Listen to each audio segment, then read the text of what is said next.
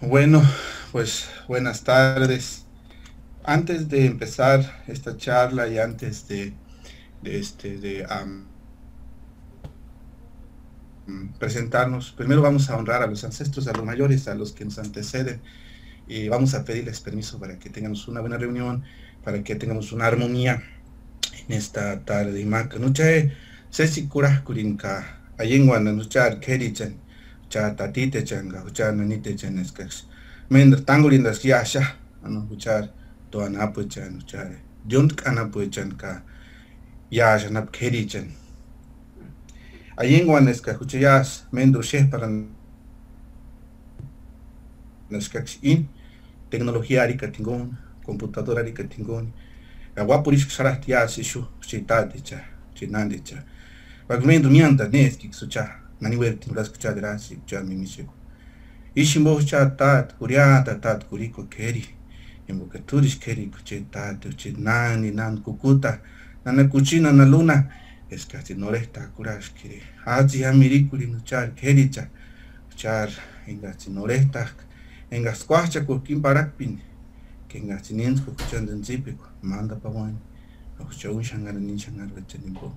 Tatita echa. Nanita. Iswanda tara teskuma huria ucha is tangulin na piring. Eska nucha ishe para na piring. Que eska sang nari piring wingas kuna nucha de ratskambe uchit nan de cha uchita de cha. Oreta chiste. Shirti nanine shangaru. Haratin urim randani mana meng tamish nika uchita de uchit nan de cha. Kahini. Inskuri winapu. Inskuri te kanzi. Nochi miliko rintatite cha. Neskis cha. Nuximirico nechcachininsko tzipikua mayem xinarintan katekansko xikurachi ximara penkuar chanunka ses wandashkuri wandachikurin o ses comarani chanchiningon imbuet que chatatite cha ishi güey y así sea eh, pues vamos a empezar este eh, eh, eh, vamos a, a empezar, les voy a ir nombrando, por favor, eh, como somos más de 20 personas, este, por favor, su nombre, eh, su lugar de residencia actual y su lugar de origen. Si vienen más de un pueblo, también lo pueden decir, también pueden decir el nombre de donde es su mamá, su papá, ¿verdad? Si tienen ese origen o esa conexión con el territorio purépecha. Entonces vamos a empezar con Filiberto. Buenas tardes, este, a todos, todas, por muy agradecido de estar aquí conectado con todos. Eh, estoy conectando ahorita desde Seattle, Washington. Eh, y yo trabajo aquí en la Universidad de Washington y originario de, del estado de Michoacán. Mi papá es de una comunidad pequeña, el Salitre, mamá de Pátzcuaro. Y, y, pues yo nacido allá en, en México también, pero me vine este como de 10 años acá a los Estados Unidos, entonces tengo mucho tiempo acá en los Estados Unidos, pero siempre conectado allá con, con, la familia y, las comunidades allá. Javier. Ah, sí, bueno, buenas tardes. Ah, mi nombre es Javier Meyape Soy originario de la comunidad de Santa Fe de la Laguna. Ah, estoy viviendo junto a mi familia ya por más de 20 años en el estado de Kentucky. Es un gusto estar estar aquí y participar con ustedes en esta, en esta nueva reunión. Y estoy listo para este, seguir aprendiendo. De abril a April, Salvador. Hola, vivo en Carolina del Norte y mis papás son de San Andrés, en Michoacán. Daisy, Daisy Baez, Baez o algo así, por favor. Hola, ah, mi nombre es Daisy Baez. Ah, yo también soy de aquí de Seattle y mi familia, mis papás, los dos son de Tingambato. Delicia Coraima. Eh, yo soy Delicia Coraima Chávez. Eh, ahorita actualmente estoy viviendo en Colima. Eh, nací en Europa, Michoacán. pues mi mamá es de Quinceo y por ahí tenemos pues, la conexión de familia. Diana Morales. Hola, este, mi nombre es Diana. Este, estoy con mi familia aquí. Nosotros estamos en California y mi familia es de Santa Cruz, Canaco. Diego León de Jesús. Adelante. Sí. muchas gracias. Sí, estoy comentando desde el, California y vengo de origen de pueblo de Cuanajo, ahí por alrededor de Pátzparo. Muy bien. Elizabeth. Hola, este, buenas tardes. Soy Elizabeth Cuanas. Este, vivo en Salem, Oregon y mis papás son de San Andrés Tirondaro. Mucho gusto a conocerlos todos. Me pierdo poquito. Es... Erandi y Claudia. Buenas tardes o noches, depende de dónde estén. Um, somos de aquí de Seattle, Washington, Auburn. Sorry, está mi hija por aquí. y soy Claudia Flores y mis papás, mi papá es de Quinceo y yo nací en Urapan, pero ahorita estamos viviendo acá en estos rumbos, I guess. Hola a todos, mucho de verlos todo, even if it's virtual. Um, pues como mencionó mi hermana, pues, y, uh, aquí vivimos en el área de Seattle. Um, los dos mis papás son de Michoacán. Um, mi papá de Quinceo y mi mamá de Nueva Italia. Y mi papá es Tata Antonio. Gracias. Inés. Hola, eh, buenas tardes y buenas noches. Este, soy, soy Inés, eh, soy de Guadalajara, eh, pero ahorita estoy en, la Ciudad de México y bueno, conocí a, a Juanita y a Diana en, en California. Gracias por la invitación. Mucho gusto. a Nana Fabiola. Hola, buenas tardes a todos. Mi nombre es Fabiola Juanita Zamora y aquí estamos listos para el taller. ¿Y ustedes de, de qué comunidad? ¿De dónde radica? Yo radico aquí en California por 22 años. Yo soy originaria de la Cañada de los Once Pueblos y Chan, Michoacán. De allá mérito soy. Muy bien. Itziri. Sí, buenas tardes a todos. Este, me llamo Itziri Moreno Villamar. Eh, ahorita estoy viviendo en Anaimo, en la isla de Vancouver, en Canadá. Y mi familia es originaria de Cherán. Mucho gusto a todos. Eh, mi nombre es Lucía Esmeralda Gutiérrez Estrada. Soy de Erongarícuaro, Michoacán. Vivo parte del tiempo en, en Erongarícuaro, pero emigré a los Estados Unidos hace cuatro, cinco años ya. Y vivo allá en Cleveland, Ohio. Ahorita me vine hace un mes aquí a, a mi tierra y pues me voy a quedar acá un tiempo hasta que pues me sienta como que puedo regresar a los Estados Unidos, tal vez ya me quedo acá, no sé. Entonces, pues yo soy Dula, trabajo con mujeres durante el embarazo, parto y posparto. Eh, también soy ingeniera bioquímica ambiental y ahorita estoy construyendo mi casita hecha de puro adobe y baños secos y sistemas de captación de agua de lluvia y todo eso me gusta. Esa soy yo. Muy bien. Este, Emanuel González. ¿Qué tal? Buenas tardes. Este, ahora, sí. sí. Ah, muy perfecto. Este, pues como decía, voy a, voy a dejar que mi pareja se, se presente primero, mi esposa, entonces va, yo después de ella.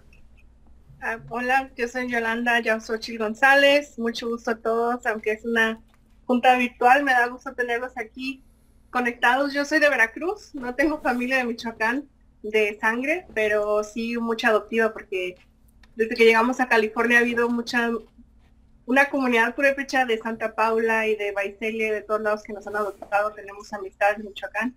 Entonces yo siento esa conexión con la, con la ideología, la cosmovisión de la comunidad. Y es pues, eso soy yo. Estamos aquí en Bakersfield, California. Cuando gusten aquí tienen su casa.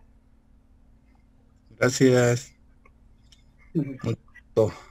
Muy buenas tardes a todos. Mi nombre es Iscuautli Manuel González.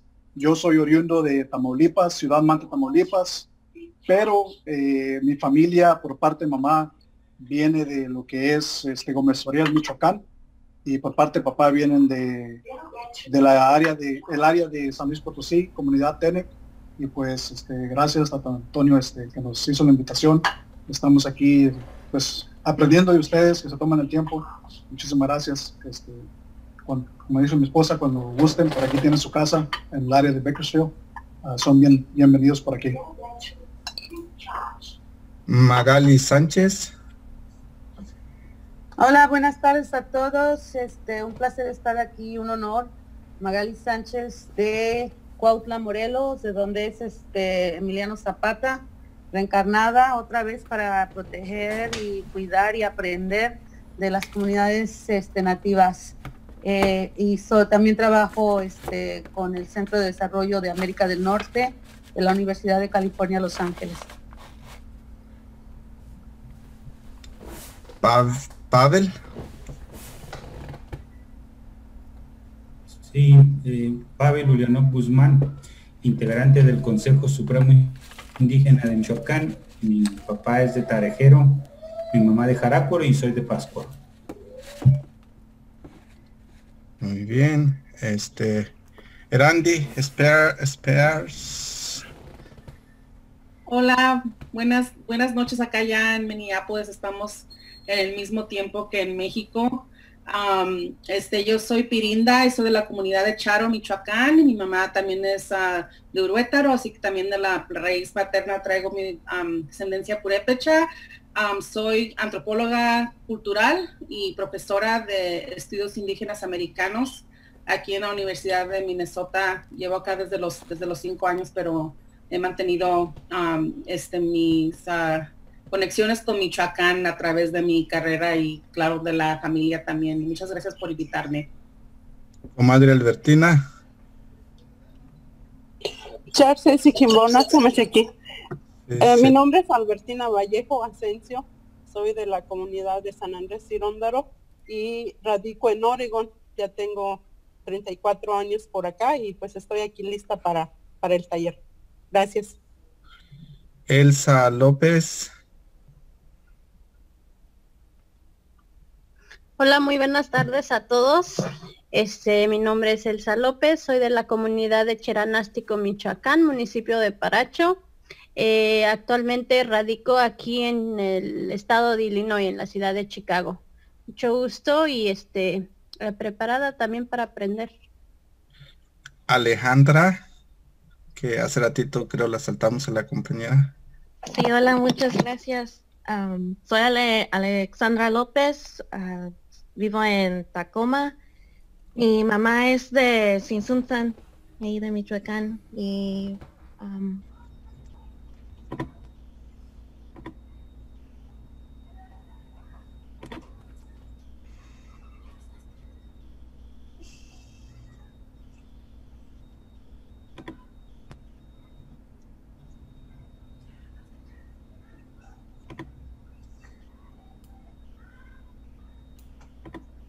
No sé si ya se puede observar la presentación.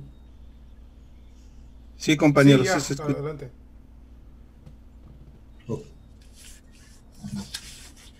Muy bien. Eh, pues muchas gracias por escucharnos. Muchas gracias por continuar con estos talleres. Me pidieron que continuara hablando sobre los consejos de gobierno comunal y quiero desarrollar tres ideas. Eh, una idea, quiero hablar sobre el marco jurídico, un poquito sobre eh, las leyes que permiten la autonomía. Otro, otro punto es retomar, continuar con el marco histórico de los consejos de gobierno comunal y finalmente hablar sobre la estructura de algún consejo de gobierno comunal es lo que me pidieron los compañeros que desarrollaran. De la medida de lo posible vamos a estar desarrollando todos los temas que nos pidan o incluso también ustedes este, haremos la contrapropuesta de que puedan en otra ocasión realizar algunos de ustedes un taller y tomamos también nutrirnos.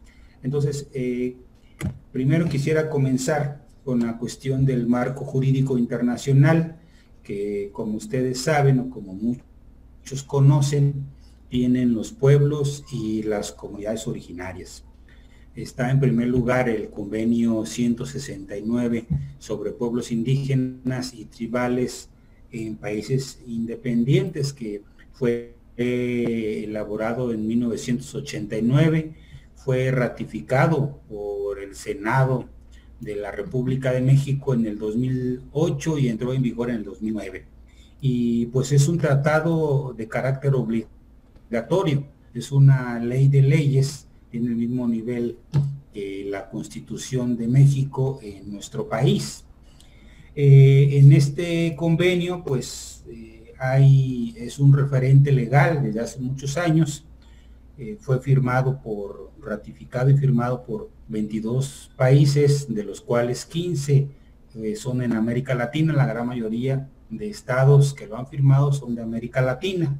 Y pues ahí viene eh, ya varios derechos colectivos, viene el derecho a la libre autodeterminación, vienen derechos de identidad, de cultura, de respeto a la cosmovisión, y viene la participación efectiva eh, de los pueblos originarios en las decisiones. También viene ya la consulta, eh, viene también por supuesto el derecho a la educación, algo que ahorita acá en nuestro estado está muy en el habla de todos, es sobre el derecho a educación que tienen las comunidades. En este convenio se establece que los pueblos originarios tienen derecho a proponer sus planes y programas eh, eh, cosa que no pasa eh, actualmente en México o en Michoacán.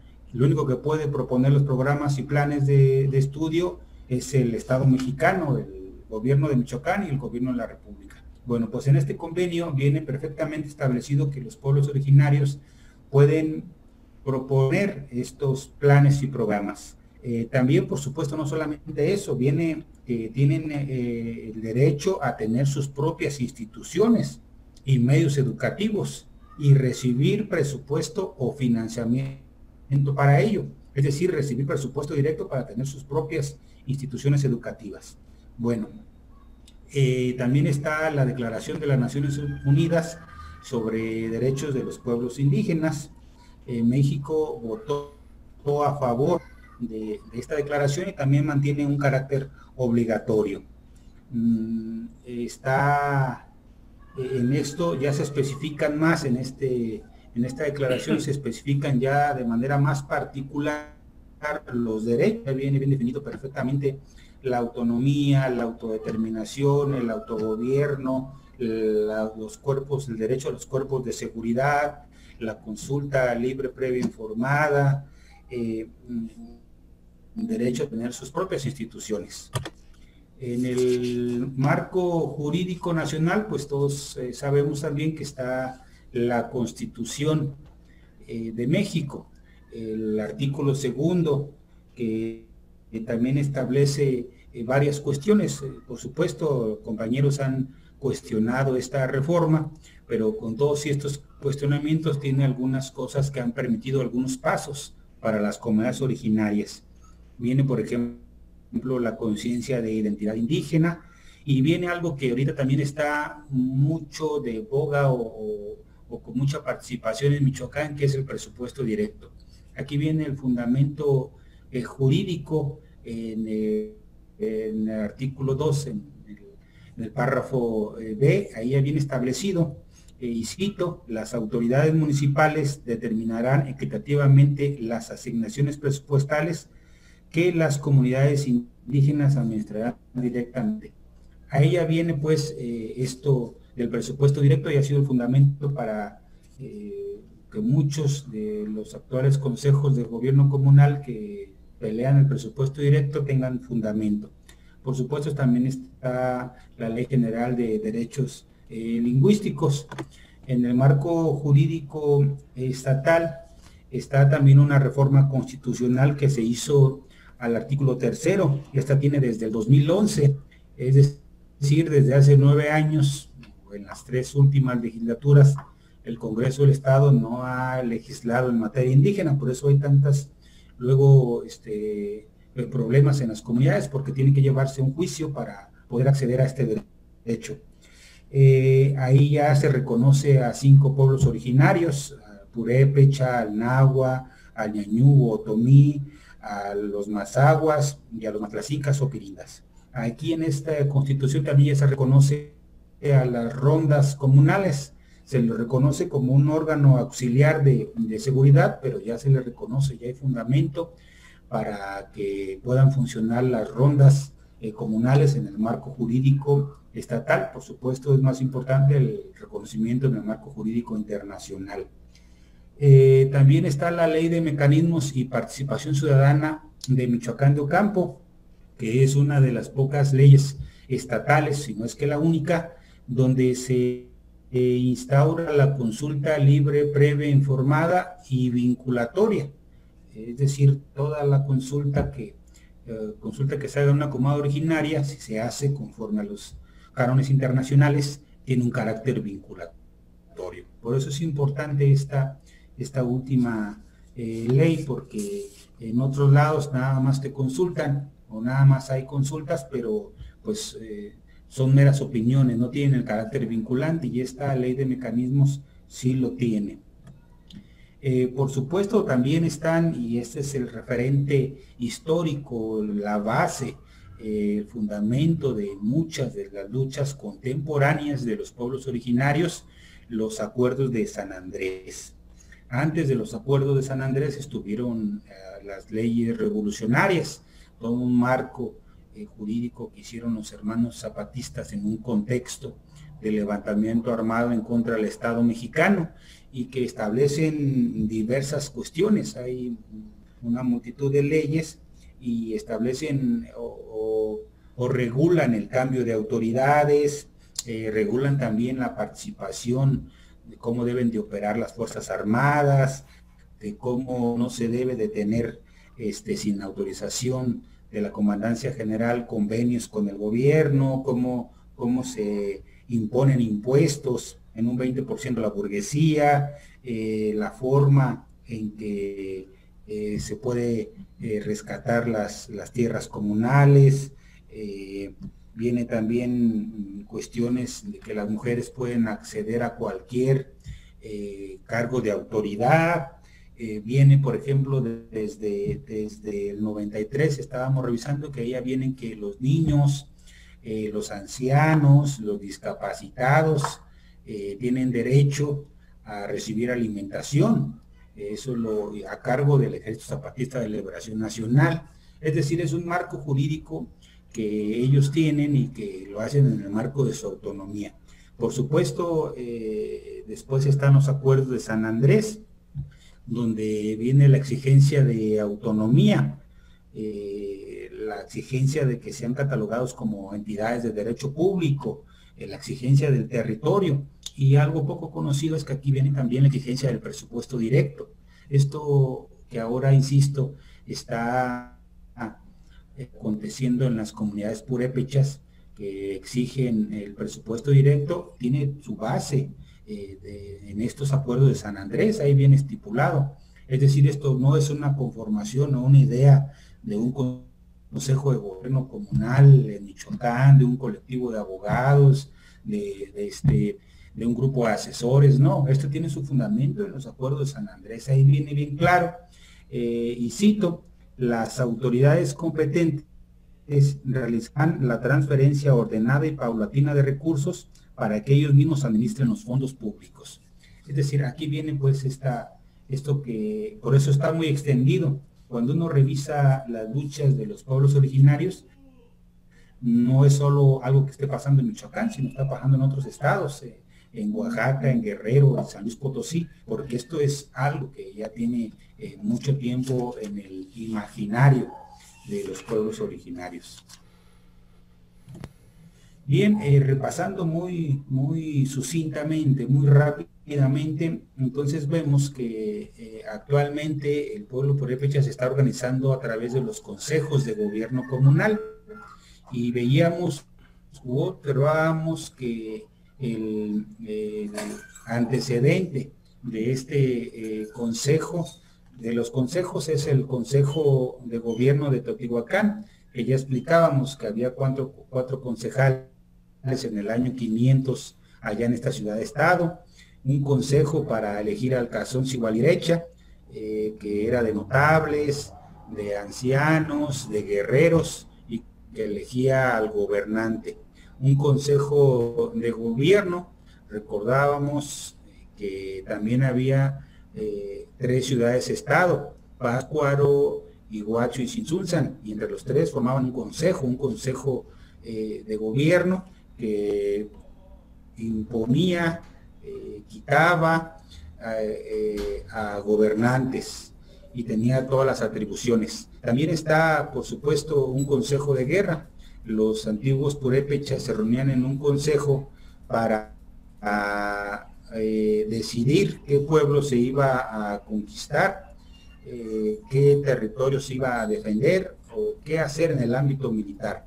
Y también había, por supuesto, un consejo de educación, un consejo de educación, hay, hay varios, varios este, eh, episodios en la relación de Michoacán en este libro, donde se dice que había un consejo para educar a Tareacuri, de tres, tres venerables ancianos, y así varios consejos de educación. Y el más eh, reciente eh, antecedente es el Consejo Curicahuari Cuinchicua, que fue uno de los consejos que eh, teóricamente expuso trabajar de manera autónoma, sin, la religión católica, sin la cuestión de los partidos políticos y sin directamente con el Estado mexicano. Entonces son los antecedentes, ya después viene una multitud, como pueden observar, de consejos de gobierno. El primero o el más antiguo es el Consejo de Gobierno Comunal de Murillo y, el último son el eh, Consejo Comunal de Pomacuarán y de Cheranástico. Entonces eh, vemos u observamos que hay un marco histórico, que hay un marco eh, jurídico y pasamos ahora a, observar este, la estructura de gobierno, ver cómo están organizados estos consejos de gobierno comunal.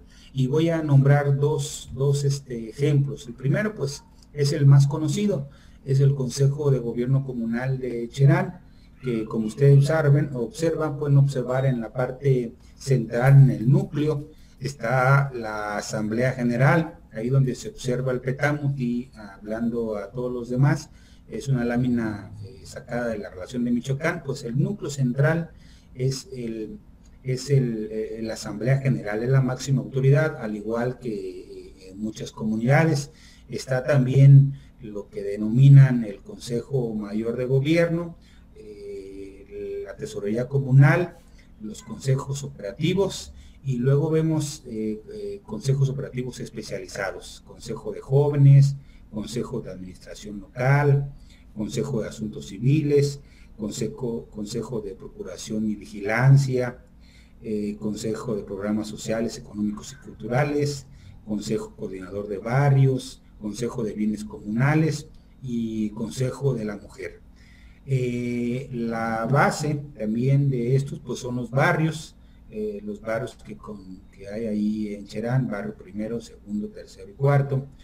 Eh, como eh, algo que se puede observar de esta estructura es que no es una estructura rígida, ha estado en constante construcción. Yo recuerdo el primer, el primer consejo, por ejemplo, no estaba en la estructura, al menos en el organigrama, no estaba el consejo de los jóvenes, tampoco estaba el consejo de la mujer.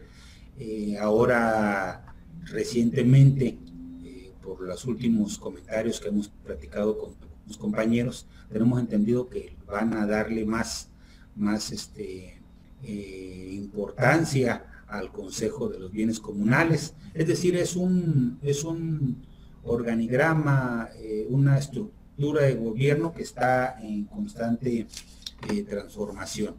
el último o de los más recientes consejos es el Consejo Comunal de Semina, donde hay también 12 eh, concejales, cada uno de ellos tiene sus propias atribuciones y para no detenerme tanto en cada uno de las atribuciones que son similares al pasado consejo, quisiera mencionar que observamos que hay dos, dos cosas importantes que se deben de proponer o apuntalar o fortalecer en la mayoría de los consejos.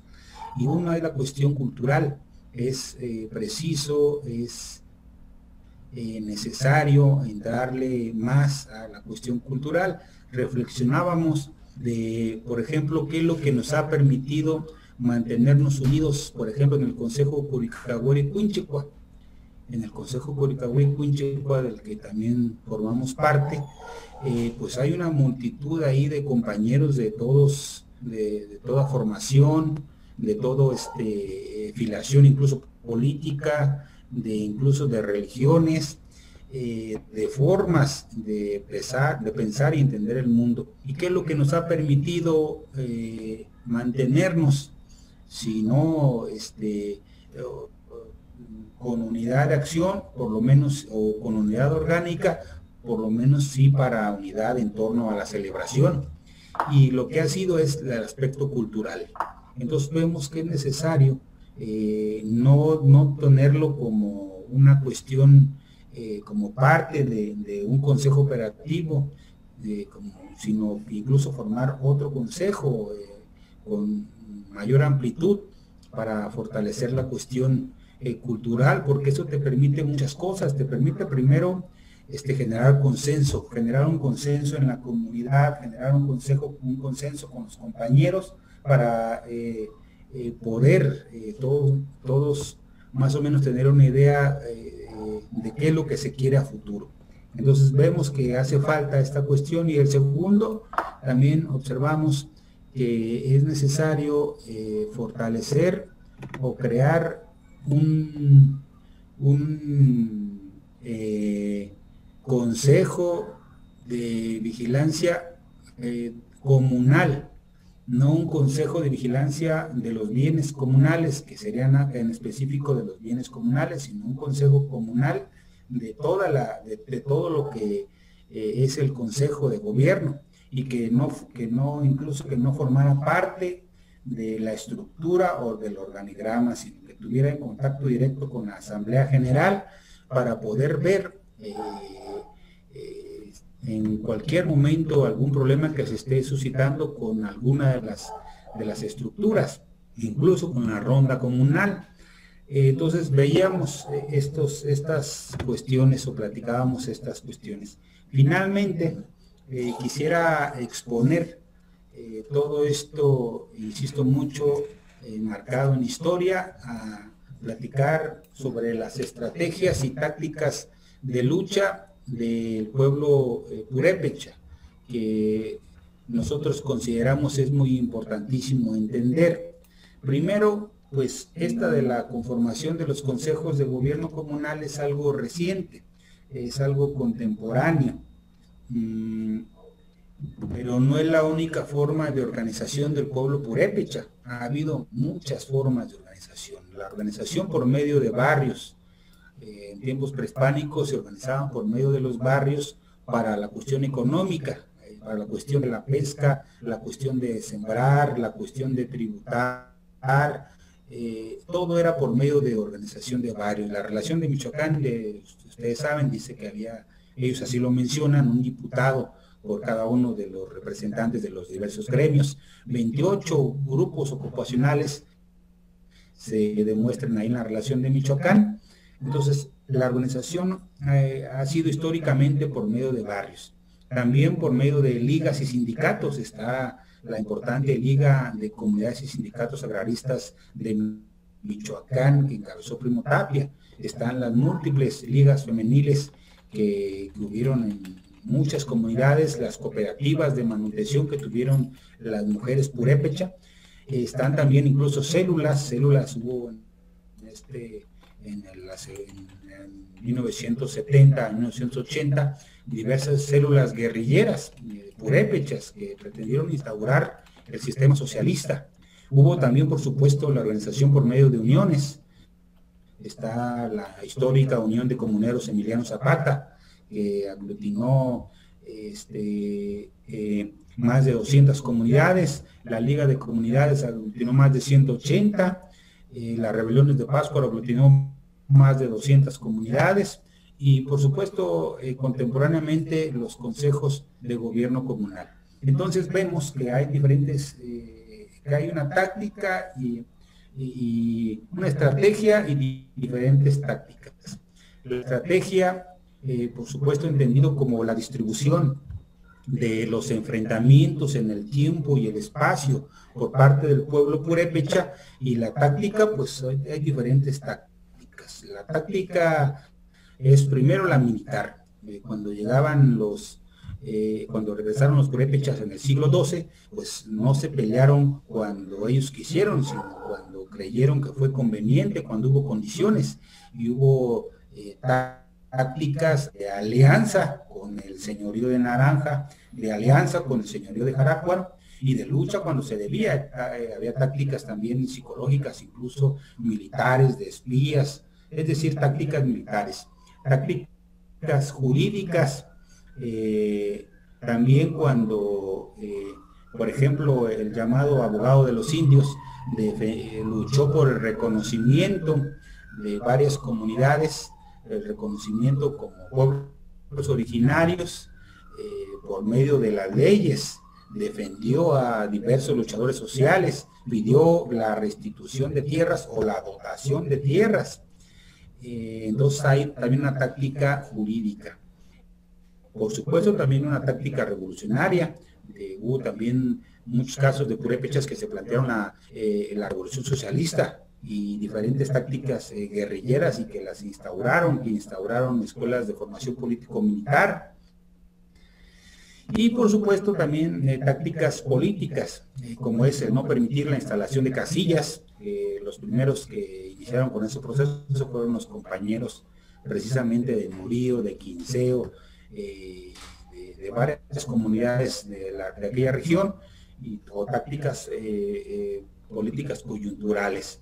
Y por supuesto también las sociales, la lucha social del pueblo purépecha ha sido en diversas formas, es la toma de carreteras, la, toma de instituciones este, federales o estatales, la toma de instalaciones eléctricas, la toma de vías de ferrocarril, es decir, una diversidad de tácticas y estrategias. Bueno, en fin, con esto eh, quisiera terminar esta primera intervención para estar atentos a sus comentarios y por supuesto también a su crítica y autocrítica. No sin antes, si me da, permiso para que se presenten este Carmen, si se quiere presentar de, dónde radica y su lugar de origen, por favor. Hola, buenas tardes a todos y a todas. Mi nombre es Carmen. Ahorita estoy en Watsonville, California, en la costa central. Y mi familia viene del norte de, bueno, de Zacatecas y Guanajuato de Guanajuato y Michoacán, pero yo uh, nací en Los Ángeles. Fidel.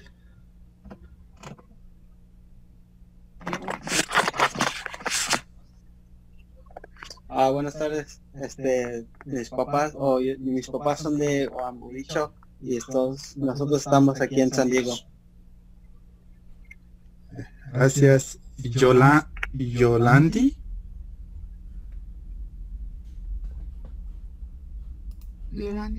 Dice que ella ya se presentó con Emanuel, pero que... Oh, oh Perfecto. Adelante. Este, ahora es eh, la oportunidad de que quieran hacer alguna pregunta, algún comentario. Este, por favor. Ah, más lo único de nuestra parte, ah, como saben, yo y Erandi hablamos español muy street, muy básico, muy básico. y uh, no sabemos una de las palabras técnicas a lo mejor que usa el señor Pavel, ah, nomás si, nomás tener eso en mente, a lo mejor tener que explicar un poquito más, sorry, but yeah, nomás eso, esa parte es que estamos mirando ahorita llorando y que nos toma un poquito más tiempo para entender eh, the whole concept, but we usually get it towards the end because after after listening to everything. But it does take, I don't know, it, it puede variar por persona más quería decir eso. Lo que estoy proponiendo es que se Eh, lo vamos a, a- lo estoy grabando y, y sería bueno ponerle lo que llaman closed caption o, o traducción. También me gustó lo que sugirió Siri. Ella dijo que lo que podemos ver en la presentación y translate the presentation, translate the presentation before we start. Um, so that me and Claudia or whoever needs the English version can overlook the slides and then we can follow along. If that makes sense. ¿Sí me entendiste, pa? Sí, sí, lo entendí, ya tome nota. Okay. ¿Alguien más quiere preguntar algo, complementar? A ver, Tata Javier, este, tiene la mano levantada. Y pueden, si saben, este Zoom tiene una manita que pueden levantar, ¿verdad? O, o Ah, pueden levantar la mano así. Adelante, este. Es mucha tecnología, Tata Antonio. Pero bueno, este, tengo una pregunta para el camarada Pavel. Es acerca de, del nombre que, que, le, este, que le designan en sí al Consejo Supremo Indígena de Michoacán. Es decir, ¿de dónde surge y cómo surge el nombre de Consejo Supremo? ¿Por qué Consejo Supremo?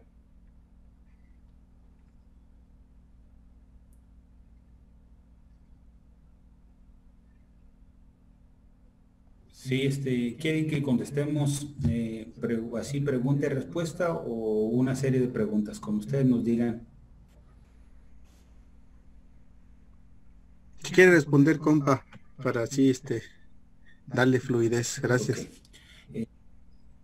Sí, eh, el consejo, aprovecho que tengo la palabra para comentar muy rápidamente. El consejo tiene varios principios. Un principio es que es autónomo, no dependemos económicamente, políticamente, mm, eh, económica, de ninguna forma de ningún gobierno, federal, estatal, municipal, trátese del color que sea. Ese es un principio, que somos autónomos, por eso podemos hacer lo que creamos o lo que se consense en la Asamblea General. Segundo es que en este consejo no hay un presidente del consejo, no hay un líder supremo, no hay un secretario general, no hay alguien que tenga todo el poder. Esto se hizo pensando eh, que históricamente han sido reprimidos, cooptados por el Estado mexicano muchos líderes, entonces no, no existe esa, esa, esta función. Y otra, otro principio es que nosotros buscamos la autodeterminación de las comunidades originarias y una de las traducciones de esta autodeterminación es la autonomía. Eh, entonces, bajo estos tres principios, en una Asamblea General de Autoridades, que es la máxima autoridad, decidió que se le nombrara Consejo Supremo Indígena de Michoacán en honor a la lucha que emprendió en la comunidad de Santa Fe La Laguna y el compañero Elpidio Domínguez Castro en, la década de los 80 del siglo pasado.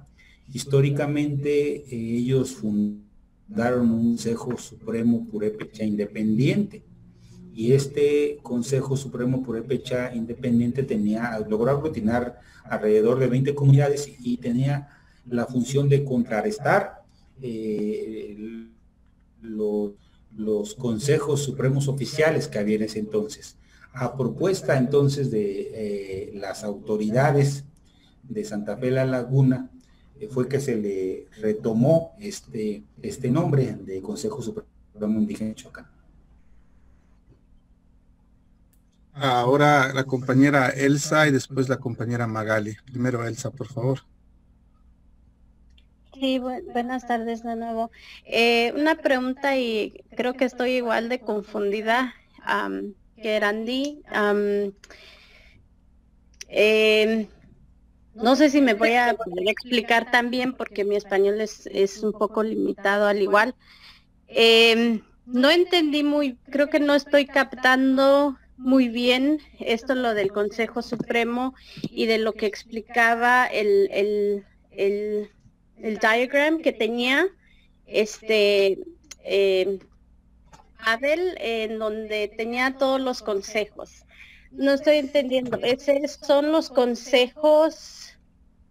Es, es un ejemplo de lo que cada comunidad eh, debe de tener como estructura eh, para poder funcionar de manera autónoma efectivamente, de manera efectiva, o es este esa es una estructura general para para todas las regiones de la de la meseta purépecha o todas las regiones purépechas.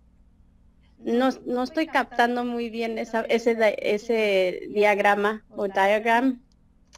Eh, no sé si podría explicar un poquito más sobre eso.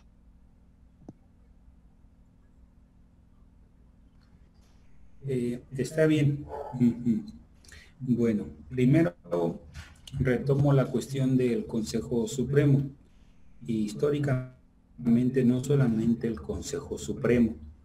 Una de las constantes que vemos a lo largo de toda la historia es que para poder una lucha de los pueblos originarios tener cierto éxito, tiene que haber eh, la unión de muchas comunidades, lo que se le llama pues la correlación de fuerzas al favor de las comunidades indígenas, que haya eh, en todos los grandes procesos históricos, mm, mientras más comunidades se sumen, más eh, oportunidades de éxito de los movimientos de los pueblos indígenas eh, puede lograrse.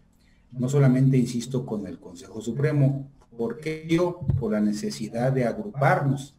Ustedes saben como ven incluso eh, en, la, propia bandera purépecha, este, tema, uno de los temas centrales es la unión. Unidos podemos afrontar cualquier eh, problema. Y históricamente también divididos, pues esa es la constante del Estado mexicano o de los Estados-nación. Su objetivo es dividir, es aislar, es cotar, es corromper a los diferentes movimientos sociales para que no haya eh, unidad de acción. Entonces, no solamente eh, el Consejo Supremo surgió por esta necesidad de unirnos en torno a, un, a un fin, sino eso es una constante en toda la historia, llámese Consejo Supremo, llámese este Consejo Mayor de Cherán, llámese Lucha de Santa Fe La Laguna por la Tierra, llámese UCES de la Unión de Comuneros Emiliano Zapata, llámese este eh, agraristas de Michoacán, llámese las rebeliones de Páscuaro, es esta unión lo que es eh, una de las, de las tácticas esenciales que se busca unir para eh, poder eh, vencer. Segundo, este, no, no hay una, no hay una receta para los consejos de gobierno comunal, hay constantes. Una constante es que la máxima autoridad es la Asamblea General, no solamente de los consejos de gobierno, sino ustedes saben de las comunidades originarias. Entonces hay constantes, no hay recetas. Otra cuestión es que, eh, insisto mucho, son consejos eh, que se dan en determinado contexto y que van evolucionando o que van cambiando, cambiando. En, en base o lo que se busca es lograr que cada comunidad decida su libre autodeterminación en el terreno eh, económico, político y educativo. Y los consejos operativos ya son estos consejos que tienen eh, en algunas comunidades, que es por ejemplo el consejo que cuida los bienes comunales, el consejo que se encarga de, de mujeres, el consejo que promueve a los jóvenes, el consejo, es decir, hay ya más operativos, pero no es, no insisto mucho, esto no es una receta. Cada organigrama o estructura es diferente. Incluso las propias rondas eh, no llevan eh, los, mismos nombres. Los compañeros de Cherán le pusieron eh, ronda comunal, los compañeros de Semina le pusieron defensa este, comunal, los compañeros de Ostura le pusieron policía comunal, tiene sus distintas variantes. Sí, ah, en otras palabras, compañera, es el hecho de que cada una de las comunidades decide al final cómo estar organizados y eso es lo que nos fortalece como comunidades purépecha es muy falta de respeto que yo de quinceo vaya y le diga a los de Cheranástico cómo estar organizados o viceversa. Pero también lo que se recomienda es que hablen con los ancianos, con los viejos y las ancianas, porque los cargos todavía existen en nuestras comunidades, nomás que están estructuradas en lo que es la iglesia, ¿no? Los cargos que tiene la iglesia ahí están estructurados todavía y esos tienen mucha validez para usarlos como centro de partida, para no empezar de, cero o como dicen algunos abuelos, abuelas, o inventar o sacar de la nada. Nuestras comunidades tienen esas, esas estructuras formadas todavía en lo que nosotros llamamos sistemas de cargos y que es un honor, por ejemplo, ser escogido para ser, eh, en mi pueblo le llamamos el Kenyi, el que está al frente de la iglesia y que cuida la iglesia por un, por un, por un año, las Wananjis, que son las portadoras de la vela y la portadora del copal, y entonces todas esas estructuras son nuestras, solo que la iglesia se apropió de ellas, obviamente para en algún nivel crear la armonía, si se puede decir entre comillas, o para convencernos que nos tenían algún nivel de respeto. En pocas palabras, creo que nosotros forzamos a ellos que usaran nuestras propias estructuras. Entonces, Cheranástico puede crear su propia estructura, claro, lo de Cherán va, puede servir de, como de base, mirar a ver cómo está Cherán, ¿no? Y de ahí ustedes crear su propia estructura, que, que creo que ya la tienen y creo que otras comunidades están avanzando en eso. Este, eh, solo quería nomás así aportar un poquito de, de mi análisis y mi observación. Está la señora mm, Magali y luego está la compañera Fabiola. ¿Usted quiere hablar? Porque mire que levantó la mano. y después Fabiola. Este, si no le saben a esto de la tecnología y de la manita, me pueden hacer la mano así, o si no están, eh, no tienen la cámara prendida, que prendan y nomás me dicen que sí para irlos apuntando. Adelante, este Magali, y luego a señora Fabiola. Sí, eh, mi pregunta creo que la contestó ya Pavel, pero eh, eh, una de las cosas es que supuestamente lo que lo que estabas mencionando Pavel es que se pueden los fondos del federal se pueden o los fondos del gobierno se pueden ir directo para las comunidades autónomas.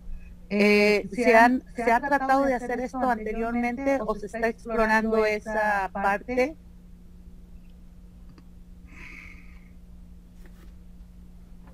Sí, eh, eh, retomando un poquito la pregunta anterior que decía la compañera y dándolo con lo que usted comenta, eh, depende mucho, por ejemplo, ahorita la lucha por la libre autodeterminación de algunas comunidades purépechas es por el presupuesto directo, como herramienta para expulsar los partidos políticos para formar sus planes de desarrollo comunal para crear sus consejos de gobierno comunal, pero lo están o lo estamos haciendo en el nivel municipio, en el primer nivel, que es el nivel más débil del Estado mexicano.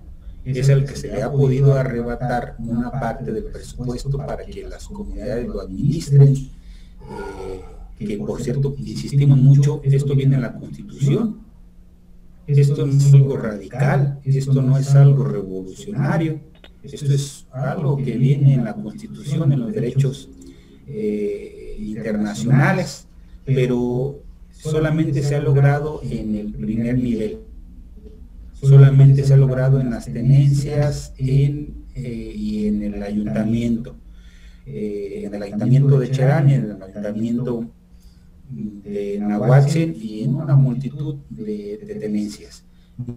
No lo hemos hecho o no se ha logrado con el Estado, que es el segundo nivel. Nosotros decíamos la vez pasada que si seguimos el criterio de que en Michoacán hay más de 136 mil hablantes de la lengua, de una lengua originaria, pues les corresponde el 3.5% del presupuesto, eh, que equivale a 1.500 millones. Por eso hay tanta pobreza en las comunidades, porque el gobierno del Estado tiene actualmente destinados 22 millones para atender a las comunidades indígenas, cuando le tocan 1.500, y ese es en el Estado.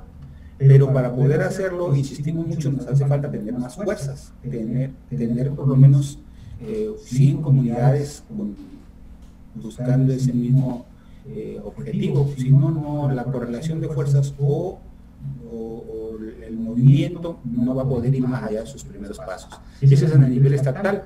En el nivel federal todavía también se puede hacer, porque eso lo permiten las leyes internacionales, pero estamos ahorita en el primer paso. Por eso este es un, este es un eh, movimiento, eh, nosotros decimos naciente, porque eh, a lo mejor nosotros nunca lo llegamos a ver, a lo mejor sí, pero este es, vamos iniciando. Es lo que algunos compañeros le llaman la autonomía permanente, la búsqueda incesante siempre de otras cuestiones. Ah, perdón, y, y con, el, con lo que comentaba la compañera eh, de Cheranástico, a, lo mejor eh, depende mucho, eh, habría que ver la, conformación de, ya práctica de, ese consejo de, de Cheranástico o de Cheranasticurin, viendo los fondos que entregó el ayuntamiento, porque el ayuntamiento no está entregando de todos los rubros, está el de Paracho, a las comunidades de Murillo, a las comunidades de Urapi, a las comunidades de Cheranástico, está entregando de tres rubros, pero no está dando del rubro más grueso, más chocho, que es el rubro de gasto operativo, porque es de ahí donde paga todos sus, sus compromisos políticos o todos sus funcionarios, por eso dependerá también, insistimos mucho, de, de, de, del contexto histórico concreto o de las condiciones de la comunidad. Gracias, señora Fabiola. Y después este, voy a leer una pregunta que escribió la compañera Yolandi. Adelante, señora Fabiola. ¿Tiene su micrófono este, cerrado? Adelante. Ahora sí. Eh, yo quiero decir que gracias por este taller, a mí me está sirviendo mucho y ya sabía poquito, pues me gusta mucho investigar y primeramente empiezo a investigar en mi comunidad, ¿verdad? Así tiene mucha razón Tata Antonio porque yo he llegado con mis mayores, con tatas y después también con los jóvenes, también con los de edad media para saber un poquito más de mi comunidad, cómo está y en dónde yo puedo ayudar, en dónde yo puedo um, aportar con ellos. Es muy entendible, Pavel, el taller que nos está impartiendo. Muchas gracias. Y quiero complementar algo de Cheran Hatsuburin. Y Cheran Hatsuburin va muy bien porque tengo entendido que ellos ya van a, a tomar um, directamente, ya no van a depender para todo lo que va a cubrir los recursos, sino ya va a ir directamente a Cheran. Recientemente uh, subieron eso en las plataformas de redes sociales y pues me alegró mucho de que hay más pueblos que se están um, levantando y pidiendo por sus derechos, ¿no? Porque es un derecho como lo dijo el compañero Pavel, por eso me está gustando mucho este taller, porque no es que estamos en guerra, sino es un derecho pedir lo que es de nosotros. Por eso también es muy importante y quiero agradecer en esta plataforma a Tata Antonio por ese impulso tan grande de estar invitando a las personas de de contarnos el censo, porque es muy importante, tanto como aquí, tanto como allá en nuestra tierra purépecha, Michoacán, contarnos, porque por eso es que esos recursos posiblemente no llegan a las comunidades como tal, porque por vergüenza no ponemos ahí que somos indígenas nativos o porque ya no lo dominamos bien el purépecha, ya nos consideramos que ya no somos purépechas. Gracias, quiero agradecer a Tata Antonio, a usted por impulsar a la comunidad de que nos contemos, de que tenemos que contarnos, tanto como aquí, tanto como allá. Eh, los videos que usted está trabajando, pues es muy entendible también. Gracias, Pablo, nada más quería comentarles esto. Muchas gracias por este taller tan bonito. Voy a estar de oyente, ya no puedo participar. Nuevamente, gracias a todos y un gusto grande. Entonces, uh, voy a leer lo que, lo que comenta la compañera Yoli y luego este, tiene la palabra, va a tener la palabra otra vez la compañera Elsa y creo que Andy y Claudia habían levantado la mano también. Pero leo esto, o creo que no creo en un error de mis hijas. Dice así, dice así compañero Pavel, dice, así como mencionan que el cambio es algo constante, ¿cuál, cuál ha sido o cuáles han sido los cambios más notorios o más significativos? sí, sí agarra la, la pregunta, compañero.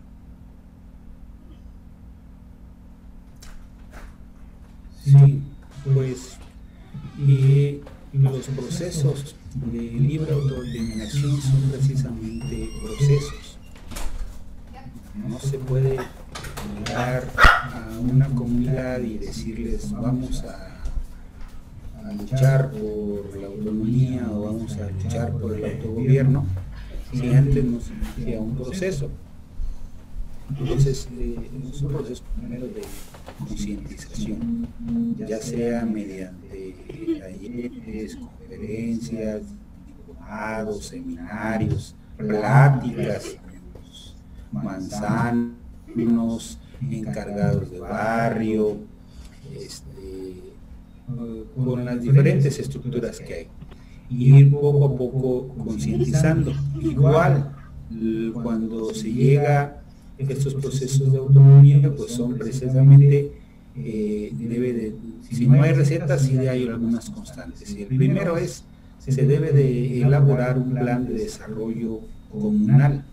Y lo primero que se logra es que se escuche o que se debe de escuchar barrio por barrio, cuartel por cuartel, manzana por manzana, a, qué es lo que la comunidad quiere, porque si no, pues estaría violando precisamente este eh, derecho de libre autodeterminación. Entonces, primero, el logro es, es que se debe de escuchar, como no se escucha eh, normalmente a las comunidades en los ayuntamientos.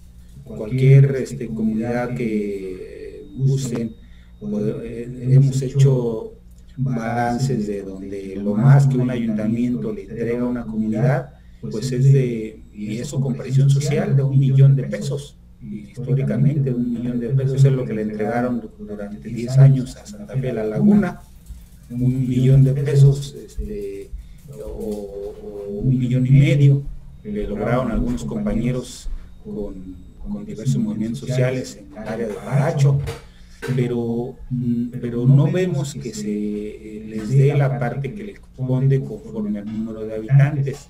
Insistimos mucho, esto no es un capricho, no se le quita a los ayuntamientos eh, más que lo que corresponde conforme el número de habitantes. Si una cantidad tiene, si, si un ayuntamiento, por decir un número rápido, tiene mil habitantes y una comunidad tiene 200 habitantes, pues corresponde el 20% del presupuesto, no se le quita ni un peso más, ni un peso menos de lo que le corresponde, ni mucho menos se le quita a los de otras comunidades, porque cada ayuntamiento tiene diferentes comunidades. Entonces, ese es el segundo, que se logra que llegue un presupuesto conforme al número de habitantes a cada comunidad. Y tercero, pues que se van viendo diferentes eh, formas de defensa y de organización de las comunidades. Entre ellos es la restitución de las rondas eh, o los consejos de barrios. Vemos que están floreciendo también muchos consejos de barrios. Entonces ese sería el tercero, que, empiezan a retomar sus propias instituciones y formas eh, de gobierno. Sí, ahorita le doy la palabra a la compañera Elsa y luego el compañero Diego este, está, está, ¿cómo se llama? Haciendo una pregunta y Alejandra, oh, que no tenía, que era por accidente también. Una cosa también con, compañeras y compañeros que yo he estado observando desde acá, desde la lejanía, es la participación de la mujer, ¿no? Históricamente el pueblo purépecha, como decía este Pavel, tiene esa formación, ¿no? De nuestra nana, nuestra mayor Kenomeni, que fue gobernante ahí por el área de Zacapu, Y, y, ustedes saben cuando llegaron los agentes externos, en este caso el judío cristianismo, la iglesia, se empezó un patrón de, de patriarcado, machismo como tal, ¿verdad? Y los hombres empezaron a hacer asambleas donde la mujer no tenía participación. Se está haciendo un esfuerzo grande y comunidades como el mismo Cherán y otros, como la compañera que es jefe de la de los Cuaris o la ronda de Arantepaco, que es mujer, ¿no? la que está al frente de los Cuaris de Arantepaco, que es impresionante, que es una de las comunidades donde hay mucho peligro, donde hubo asesinatos y todo eso, y ella está al frente de los Cuaris, es la jefa, ¿no? Y hay mujeres guardianes, ya no mujeres.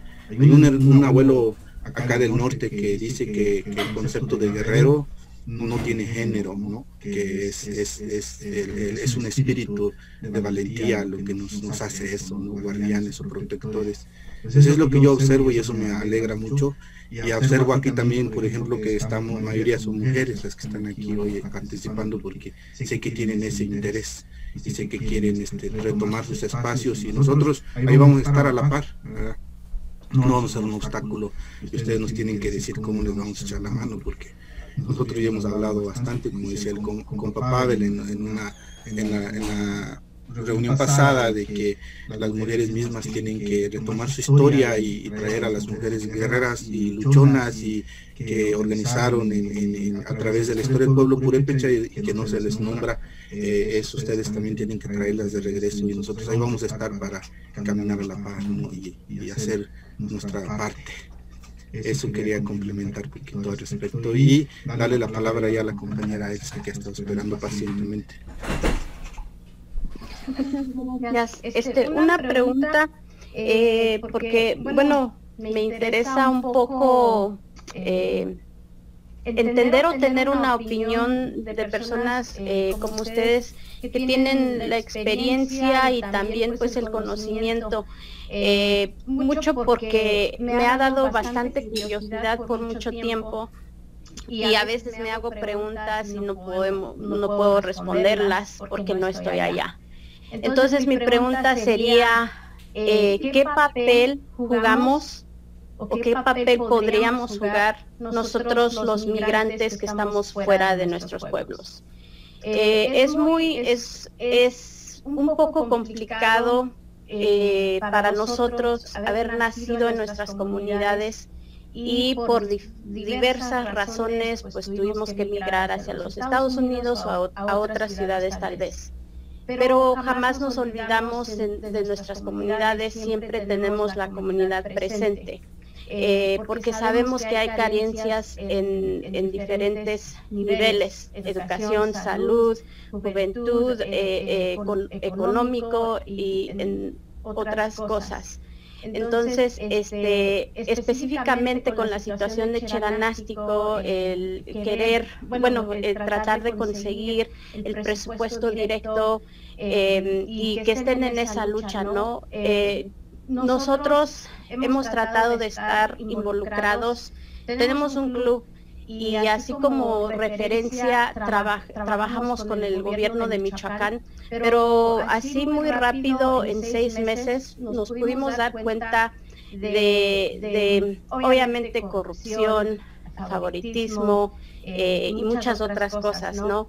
Eh, en cuanto nos damos cuenta de esto, pues nos separamos y, y empezamos a hacer muchas cosas independientemente de. aunque obviamente por ese motivo agarramos muchos enemigos porque no quisimos participar con gobierno, porque sabíamos eh, su interés y lo que a ellos les interesaba, pero a nosotros no. Entonces es de, de, de, de decir cómo nosotros podemos, migrantes que estamos acá, participar allá sin que se ofendan o sin que nos digan, ustedes no viven aquí, no saben qué necesitamos, no saben, este, bueno, no, no están aquí todos los días. Entonces, eh, un tanto por lo, en lo personal, a veces duele que, que, que, que nues- la comunidad misma te diga, no vives aquí. No, no vivo allí, pero nací allí. Ahí crecieron mis abuelos, ahí cre- eh, crecieron mis tías, ahí están mis eh, otros familiares. E independientemente de familiares, hay otras personas que tienen necesidades. Eh, como club, pues hemo- hemos ayudado a personas discapacitadas, a jóvenes, hemos tratado de hacer muchas cosas, pero aún así no nos toman en cuenta. Eh, nos, nos tratan, la comunidad nos trata como pues extranjeros, aunque no lo somos. Somos de allí, nacimos allí. ¿Qué papel jugamos nosotros, los migrantes que, que, que queremos ayudar? Estamos al tanto de lo que sucede. Eh, estamos al tanto específicamente nosotros en Cheranástico de lo que está sucediendo. Pero a veces no nos permiten. ¿Y, y qué papel y qué se puede hacer en ese, en ese sentido?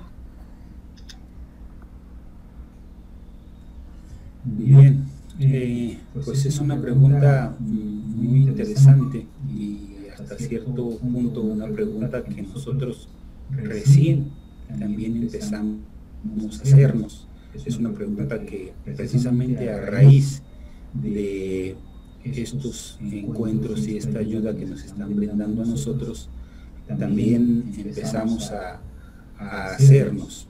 De, entrada o de inicio, pues ustedes saben que el pueblo purépecha históricamente es un pueblo migrante. Cuando regresó o ingresó en el siglo XII, pues es un pueblo que viene de otro lado, aún se sabe o no, se ha identificado de dónde viene, se cree que viene, por supuesto, del sur, que tiene algunas similitudes con los hermanos de Perú, y hay bastantes, por cierto. Pero entonces, un hecho histórico es que el pueblo purépecha es un pueblo eh, migrante, y en tiempos contemporáneos es un pueblo que también migró hacia Estados Unidos. Hay, yo estábamos la otra vez platicando, analizando que hay eh, muchísimos, un gran número de habitantes purépechas en Estados Unidos, casi e incluso igual que los hablantes acá eh, en Michoacán. Entonces estamos hablando de una multitud eh, de hermanos allá en aquellas tierras. desafortunadamente, pues nosotros como nos consideramos autónomos, no queremos trabajar, sí, por supuesto que tiene que tener relaciones con, el Estado mexicano, llámese gobierno federal, estatal o municipal, pero no lo, hacemos conforme eh, los, los convenios, conforme tengan beneficio para las comunidades. Entonces, eh, en este marco, por ejemplo, nosotros veíamos ahí eh, hace falta o es necesario dos cosas. Uno, hay que crear un consejo eh, binacional entre compañeros eh, allá radicados en Estados Unidos y que sean legitimados por sus asambleas allá y acá por las autoridades. Eso se puede hacer acá perfectamente en una asamblea o en, en asamblea de cada comunidad que se les brinde la legitimidad, además de que los pueblos originarios eh, en tránsito mantienen sus derechos, tienen los mismos derechos que aquí que allá. Entonces esa sería una gran tarea, crear un Consejo eh, Supremo Binacional o un Consejo Binacional como le quieran poner. Uno y dos, hay que integrar en las comunidades, en estos consejos de gobierno que insistimos mucho, no es una receta, y se deben, van evolucionando, así como integraron antes, no estaba efectivamente integrado el Consejo de Jóvenes o el Consejo de Mujeres, hay que integrar también un Consejo de Migrantes en los consejos de gobierno comunal para que puedan incidir desde allá hacia sus comunidades directamente. Y nosotros lo vamos a proponer en la próxima reunión de, comunidades, conformar eh, este Consejo eh, Binacional y en los consejos de gobierno, particularmente en el de Sevilla, lo vamos a proponer, lo vamos a reunir pronto, que se instaure este Consejo este, eh, también migrante en la estructura de gobierno comunal. Y esas son solamente algunas de las cosas que nos ocurren, por supuesto, lo que ustedes piensen, opinen, a lo mejor hasta es más valioso que lo que nosotros digamos. Les decimos que esto es algo que también nosotros nos empezamos a preguntar y que queremos eh, eh, caminar con ustedes. Compañero Pavel, este, siguiendo esa misma línea, precisamente compañera Isla Kelsay, para los que están por primera vez, compañero Pavel iba a venir por acá con compañera Daisy íbamos a tener dos días de talleres, conferencias y el último día estábamos planeando una asamblea regional, algo que teníamos en mente que todavía no lo madurábamos muy bien acá con Mireta Purépecha, pero que estábamos hablando qué, qué va a pasar esos tres días. Y una, una propuesta que yo he puesto en varias mesas y que ahora se lo comparto al compañero Pavel, es la observación que hacemos de que muchos de nuestros hermanos, hermanas, purépecha y no purépecha, pero vamos a hablar en este caso los purépecha están, están sufriendo accidentes muy muy graves, por ejemplo quebraduras de espalda, de mano, están quedando lo que nosotros llamamos lisiado de un ojo, eh, están quedando bastante dañados eh, desde acá. Y nosotros decíamos, bueno, este nuevo presidente sale en las mañanas decir que nosotros somos los héroes, que nos quiere mucho y de eso, de esos y apapachos, ¿no? Decimos, bueno, vamos a tomarle la palabra y vamos creando un fondo de retiro para nosotros los que hemos contribuido a México con las remesas y que hemos mantenido a flote México, ¿no? Porque aparte del petróleo, nosotros somos los que tenemos a nuestro país a flote y vamos proponiéndolo en las asambleas, en nuestras comunidades, para que nos apoyen, para que el día de mañana, cuando nosotros nos vayamos, podamos tener un fondo de retiro, porque estamos ahora sí que ni de aquí ni de allá. Acá no, no estamos creando un fondo de retiro porque no nos reconocen eh, por el hecho de no tener un número de seguro social válido, hablo de las personas indocumentadas, y este, allá tampoco no nos reconocen porque entre comillas pues no pues, pues, pues, oficialmente no estamos aportando. se tiene que hacer un análisis al respecto y llevarlo a las mesas de debate y empezar a hablarlo y decirle los compañeros han estado aportando por supuesto y nuestras comunidades estado a flote por nosotros no entonces lo dejo ahí sobre la mesa ¿verdad? lo puedo madurar más lo puedo eh, complementar más en su momento pero bueno este eh, voy con porque no, hay, hay varias personas que tienen me, gusta, me gustaría comentar sobre el tema a ver, a ver, dile. Oh, yo y Claudia.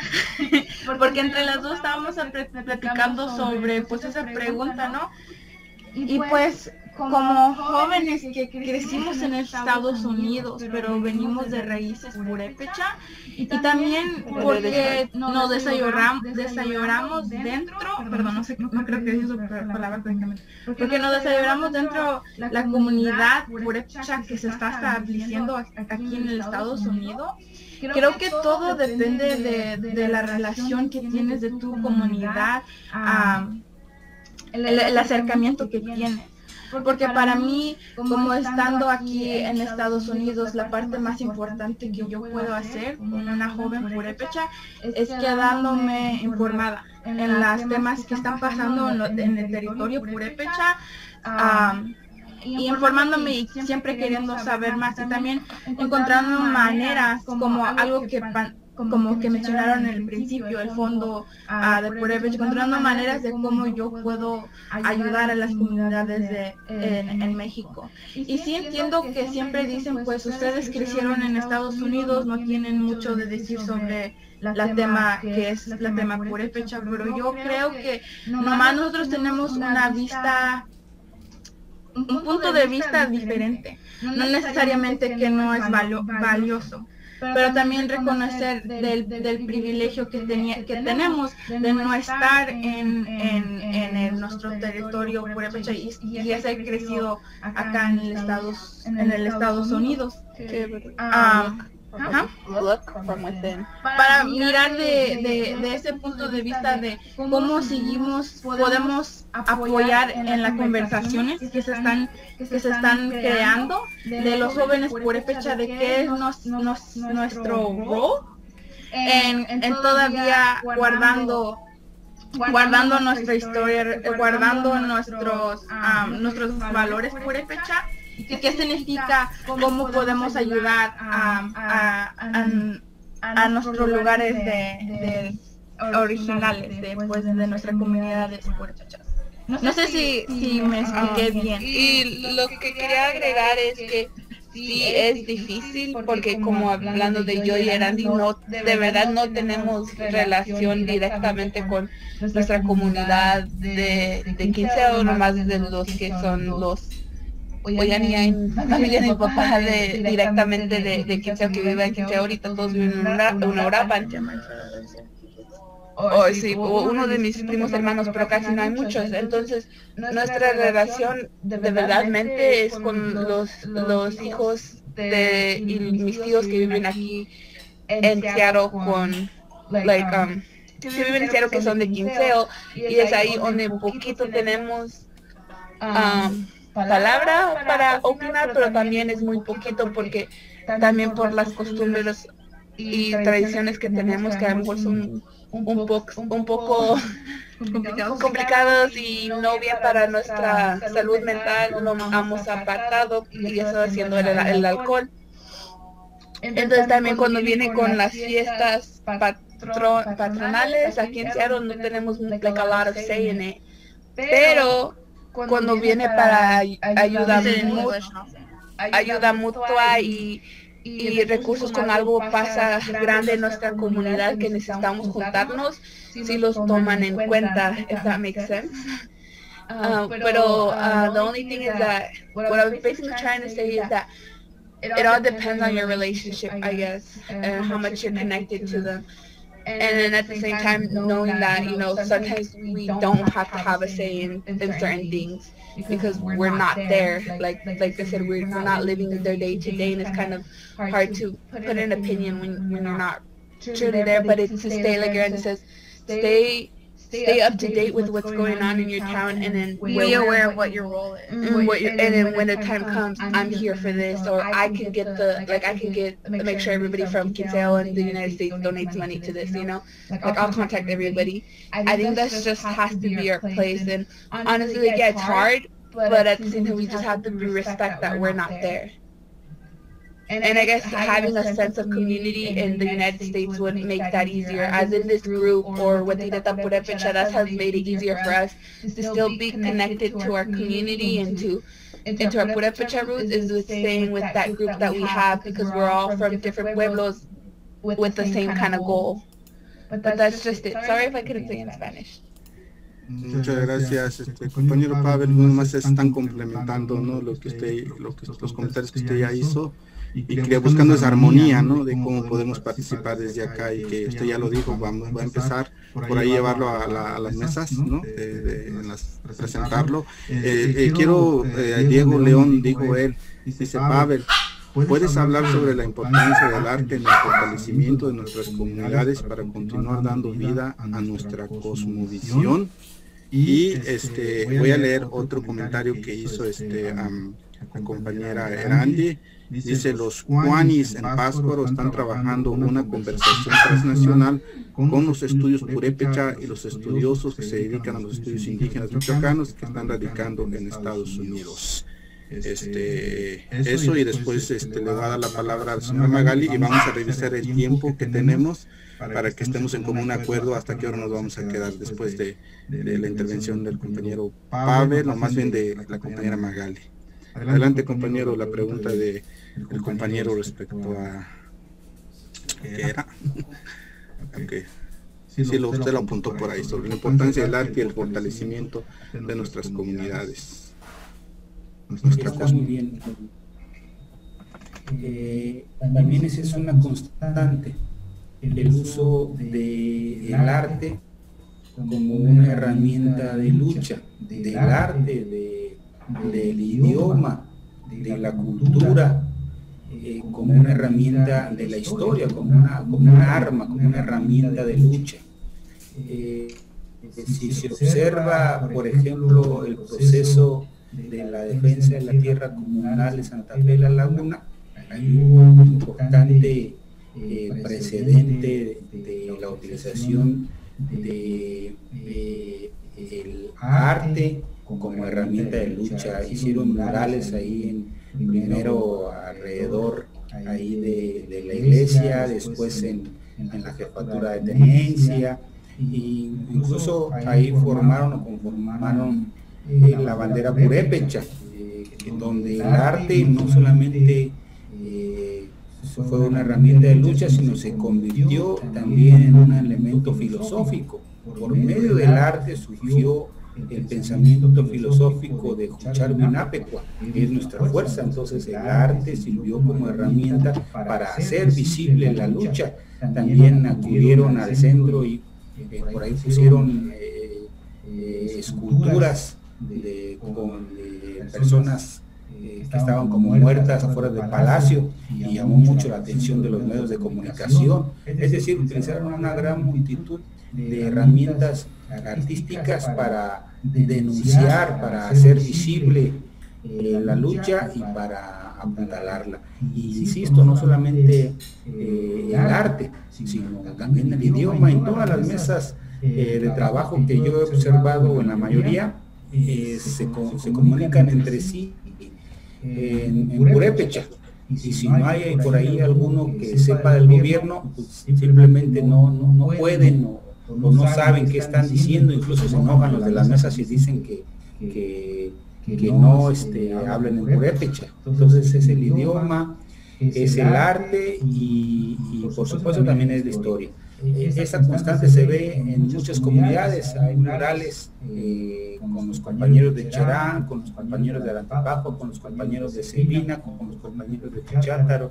En todos lados se replica esta utilización del arte como herramienta de, de denuncia. Eh, ¿Cuál era la otra pregunta? Ya no recuerdo cuál era el otro... Sí, era un comentario, pero quisiera hilar poquito, compañero, rapidito. No me voy a entretener mucho. Quiero que observen algunas cosas que les voy a enseñar. Los van a reconocer. Este es la energía de los hermanos Virárica, ¿no? Eh, comúnmente los conocemos como choles, así, así les dicen, aunque dicho que son Sharita Virárica. Mírenlo, el sagrado Kiko y el sagrado Venadito. Luego tenemos este otro, está en mi chancla, esta es la energía de los hermanos Lakota. Eh, no sé si alcanza a mirar, pero ahí está, miren. Esta es la energía sagrada de los hermanos Lakota. Ahora les voy a enseñar el de los hermanos aquí de la costa, de aquí por donde vivo. Creo que se alcanza a mirar bien. Pero a ver si lo alcanzan a mirar.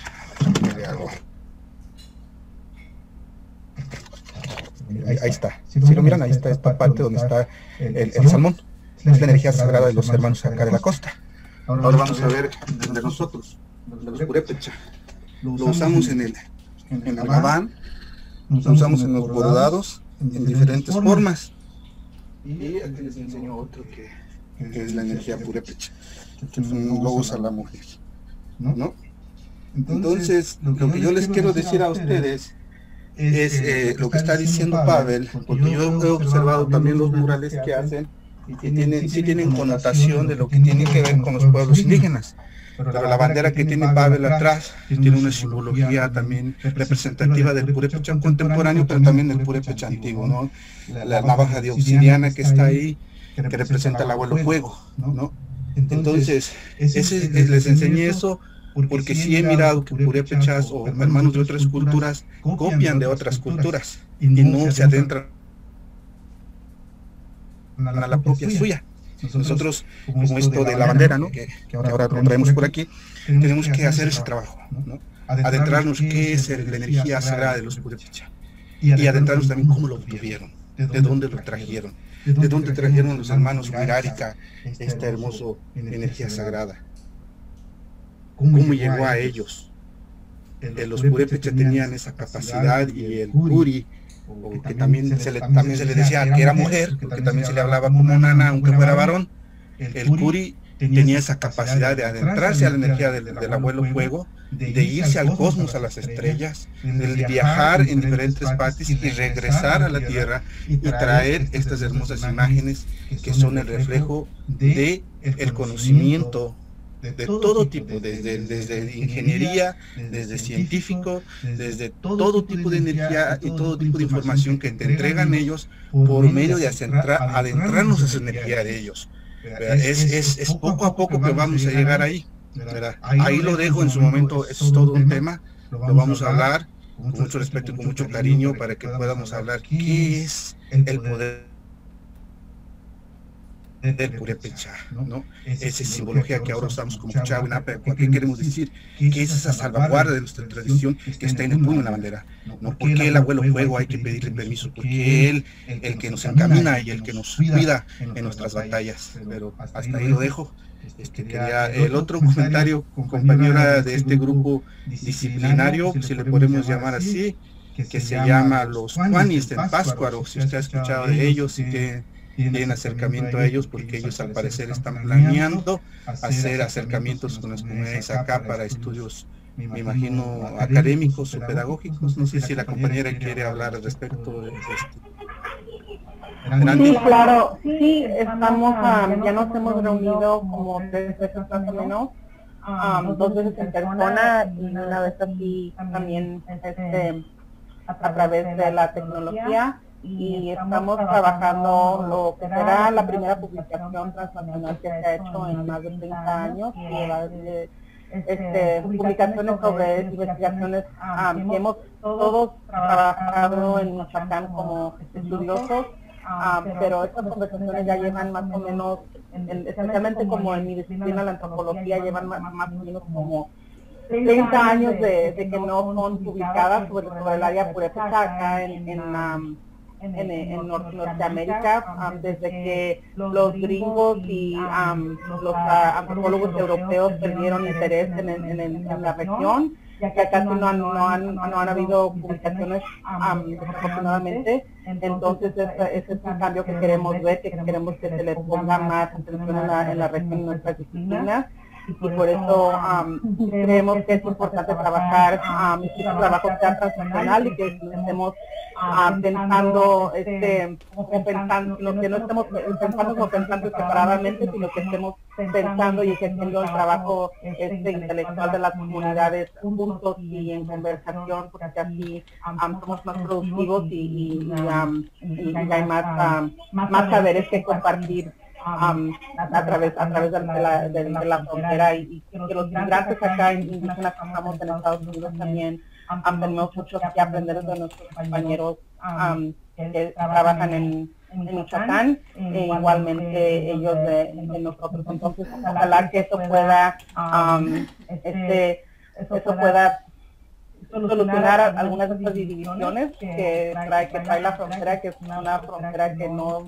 que no debería de tener tanto impacto ¿no? en, en, en, en nuestras comunidades porque aunque ya um, llevemos un diferente, un diferente estilo de vida acá, um, sabemos que muchos todavía estamos muy involucrados en nuestras comunidades, muy interesados en las comunidades para sacar, adelante la juventud um, este, y los intereses de, de, de- de nuestra juventud como Claudia y Gerandi que, que, que quieren seguir aprendiendo. um, tenemos todos que estar trabajando juntos. Entonces, um, ya llevamos, como les, les digo, tres reunión- reun- reuniones con los Juanis. Y queremos sacar un, un grupo Juanis acá en Estados Unidos de pensantes este, um, purépechas y, y, y también, no purépechas, pero que eh, igual, igual trabajan en los michoacanos indígenas en, um, en, en nuestra tierra y este ojalá que también podamos, podamos ver que un grupo Juanis em- em- emerja en Estados Unidos. Y este, un comentario rápido. Eh, sí, todos los, todos los esfuerzos que sean para para nuestra historia, nuestra cultura, nuestra cosmovisión, son bienvenidos. Si conocemos a los compañeros de Juanis, eh, llevan un trabajo ya eh, de muchos años. Muchos de los compañeros que andan con nosotros han sido o son ponentes con ellos también y viceversa. Eh, todos los esfuerzos que vengan eh, para fortalecer la cultura son bienvenidos. Sobre todo es un grupo de índole académico. Eh, lo que nosotros estamos proponiendo es un consejo, por supuesto, con varias variantes, pero sobre todo de que tengan que ver con la política comunal, es lo que nos interesa. Señora Magali, la señora Magali, este, vamos a ya este, preguntar cómo está la energía y yo sé que todavía le queda bastante tema al compa Pavel, entonces podemos proponerlo para una próxima reunión o encuentro, pero adelante señora Magali, compañera.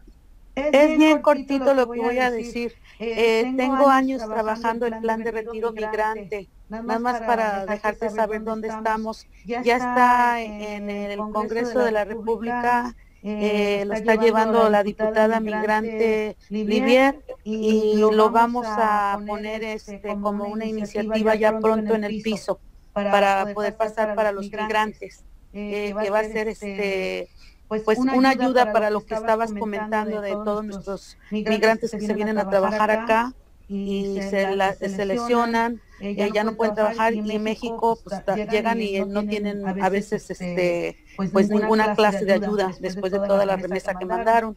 La estamos trabajando, si quieres la puedo compartir contigo para que veas cuál es el- lo que vamos a pedir. Eh, eh, pero sí es algo que ya está para pasar en legislación en México. Por supuesto que sí, siguiendo la, el hilo, la línea de estos talleres, eh, por supuesto, yo soy del, del pensamiento de compa Pavel, ¿no? De que nosotros tenemos que tener de parte en el proceso para aprender en el desarrollo, ¿no? El tener el conocimiento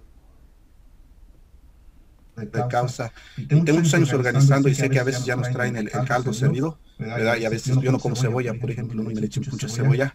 Entonces tenemos que, que nosotros empezar así como ahorita esta reunión, eh, traer más hermanos y hermanas purépecha, dialogar cómo vamos a trabajar esto, eh, con el apoyo de los compañeros, compañeras académicos, pero hay un vacío muy grande en todo esto que la voz purépecha de los que estamos, los que, los que pasamos por ese, ese proceso de discriminación, de clasismo, de separación, separatismo, todo eso, nosotros no hemos sido incluidos, y ya es por eso es que ya convoqué a este tipo y por eso el diplomado que vamos a traer acá porque queremos ser incluidos, queremos que el conocimiento que yo acabo de enseñarles de las energías sagradas, de las fuerzas que nos mueven, eh, eh, pasen a ser parte de esos diálogos eh, pero desde la práctica, desde la acción, como el currículo que hacemos nosotros acá en febrero,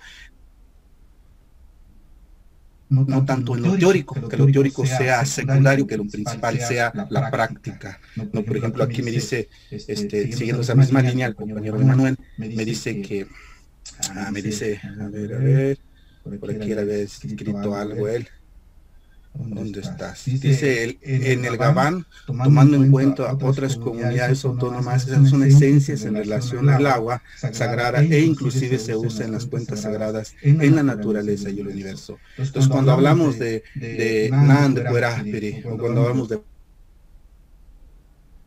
Parakpeni, o cuando hablamos de Awandaru, ¿qué nos referimos a eso? ¿Qué tipo de relación había en nuestros antepasados y ahora los que estamos aquí? ¿Cómo nos estamos reconectando con esas maneras? Desde la práctica, no desde la teoría, y pues respetándoles, saben que les estimo mucho, les quiero mucho, pero queremos tener que eh, empezar a hablar de estos temas y seguir madurándolos, y, por supuesto es bien importante un estudio pedagógico, ¿verdad? Que el día de mañana podemos decirle a nuestros hijos, hijas, mira, aquí está este libro para que consulten, pero eh, yo no le conferiré a mis hijos un estudio pedagógico que venga de solamente académicos y que no se consulte a las bases, porque todos los libros que he leído están llenos de errores, ¿verdad? Porque los purépechas que, que caminamos el camino ancestral, porque hay purépechas hablantes que son muy apegos al judio-cristianismo, y pues, pues eh, les cuesta mucho trabajo ellos reconocer lo que yo estoy hablando, de energía sagrada del abuelo Sol, de energía sagrada de la abuelita Luna, ¿no? y el poder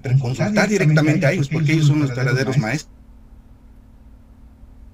Ellos son los verdaderos enseñadores, así como los hermanos Lakota y otros acuden a esa energía sagrada, porque de ahí es donde viene la enseñanza que día de mañana nos va a fortalecer el ser purepecha, ¿no? la virtud del ser purepecha. Este, entonces, hay dos manos levantadas, pero antes de eso pregunto, Pavel, compañero Pavel, yo sé que quedó otra sección de tu taller, yo sé que, que estos temas son muy, muy interesantes, tú lo puedes escuchar.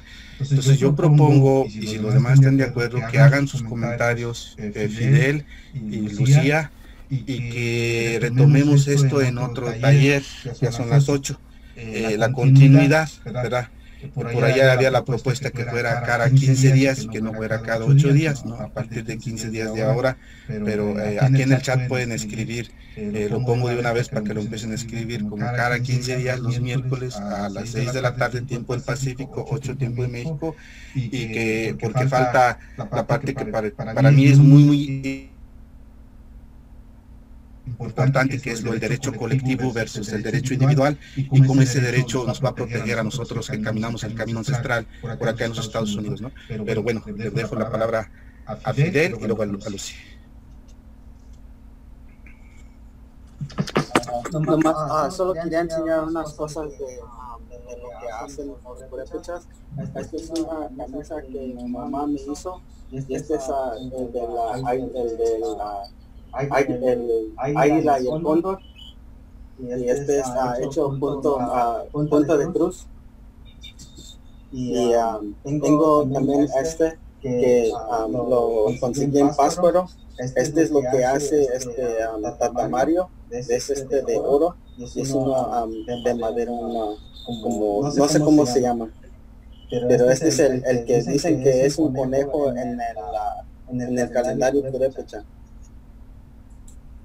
y lo, lo que siempre es, um, ten- ah, llevamos nosotros los sombreros purépecha y esto ya no es purépecha pero es de aquí de, de Estados Unidos. Um, es- esto es hecho um, no sé si es um, antiguo o es reciente pero esto es de piedra y esto también es de piedra. Son como, um, como hachas. Ah, solo quería mostrar eso. Gracias, Fidel. Lucy. Lucía. ¿Me escuchan? Sí, sí. Ok, pues eh, gracias por me- permitirme compartir un poco. Eh, pues quiero compartir un poco de eh, apoyando aquí a las compañeras Claudia y, y Randy. Y pues también con el, ahora sí que con la experiencia que me ha dado vivir entre México y Estados Unidos y pues en una manera formar parte pequeña de estos procesos que Pavel les compartió, les quiero compartir, les quiero platicar de mi experiencia para ver si esto ayuda un poco más al, al, al entendimiento general entre pues esta binacionalidad y principalmente pues para mis hermanas les quiero decir que estos procesos eh, van, llegan con el tiempo. y a veces cuando estamos en los Estados Unidos no tenemos ese concepto de respeto por los procesos de nuestros um, abuelos o de las comunidades originarias porque no crecimos ahí, ¿verdad? Entonces sí es importante que ustedes estén en contacto con, con, la comunidad, pero lo más importante es que estén en contacto con ustedes y su esencia y que tomen el tiempo para integrar todo esto que estamos aprendiendo. Porque pues yo antes, antes de integrarme más a las actividades mm, de, de las comunidades, pues en una manera de una persona de Rongarícuaro totalmente colonizada, eh, que vivía en la academia y que dentro de mi propia experiencia creciendo alrededor de pueblos indígenas tenía una concepción, una visión de lo que era ser purépecha indígena del pueblo. Ujú. Ahora que me que empecé yo a integrarme a la comunidad y a participar, pues me di cuenta que no es tan simple como llegar y, y querer ocupar un espacio que antes pues no, no sabía que, que podía ocupar, ¿verdad? Para eso, ahora sí que con la ayuda de este proceso práctico, que no es teórico, pues me di cuenta que viene a través del servicio, pero el servicio sin estar como esperando el reconocimiento. Porque ahí es ya cuando se mete este pensamiento colonial, ajá, este estado eh, que se vive, este, esta, esa sensación que se vive al estar en los Estados Unidos, ¿verdad? Acá la, la sensación es diferente, la, la sensación de unidad, de, eh, de ser parte de, mm, se puede sentir como Solo, por el hecho, por ejemplo, un ejemplo, cuando yo iba a, a- yo fui mucho Uricho, que es un pueblo originario que está al lado de Eronga, porque Eronga está colonizado hasta donde más no poder, ¿verdad? Entonces yo iba a Uricho y yo quería meterme ahí así como a mí, póngame en la, em, no sé, en la caminata del fuego hasta enfrente con mi compal, ¿verdad? Y entonces nunca lo decía, solo lo pensaba y yo sentía como que no lo podía pedir, pero era lo que yo quería, ¿verdad? Eso hace 10 años. Entonces yo decía, ¿qué hago? Entonces a través de la observación yo me di cuenta que si me ponía a hacer corundas, que si me ponía a servir, que si les llevaba pan, que si estaba ahí, que si me paraba temprano, que si les prestaba mis, este, ¿cómo se llama?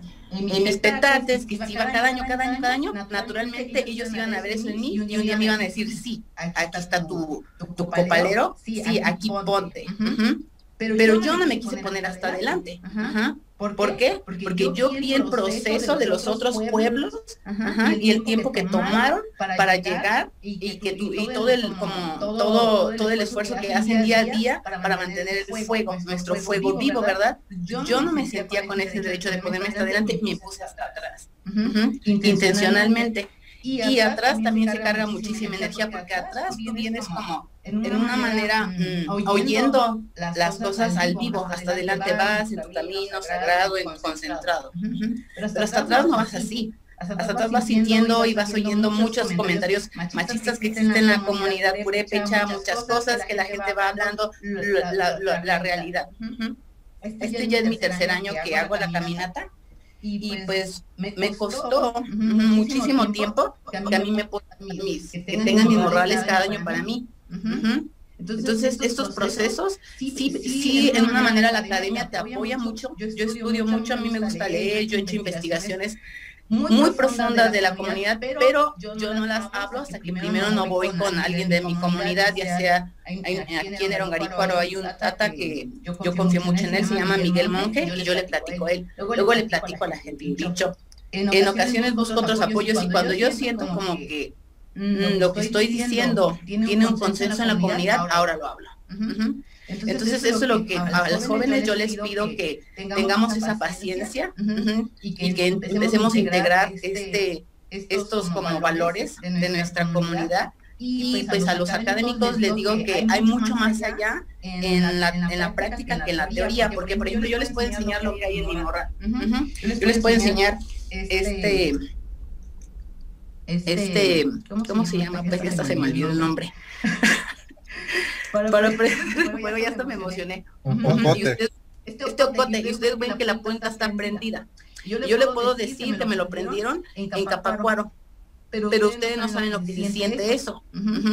Ustedes no saben lo que se siente estar parado ahí a medianoche y que, apaguen todas las luces. Y eso, solo viene con la, con la, práctica, ¿verdad? Y se, puede hacer aquí, se puede hacer en Seattle, y se puede hacer, se puede replicar en muchas partes, pero son procesos. procesos que yo viviendo en la comunidad de Rongarícuaro, rodeada de este, este pueblos originarios, eh, siendo activa me tomaron 10 años. Entonces, yo creo que esa es una oportunidad muy grande para ambos como personas de los dos países para crecer juntos, pero como dijo eh, Tata Antonio, tomando en cuenta a los que siempre hemos sido como oprimidos, olvidados y no tomados como algo serio porque no contamos con todos estos estudios, artículos que respaldan el saber ancestral de nuestros abuelos. Entonces, pues, pues eso es lo que quería compartir y pues, pues muchas gracias por estar haciendo este trabajo y espero que les sirva un poquito mi experiencia personal. Gracias.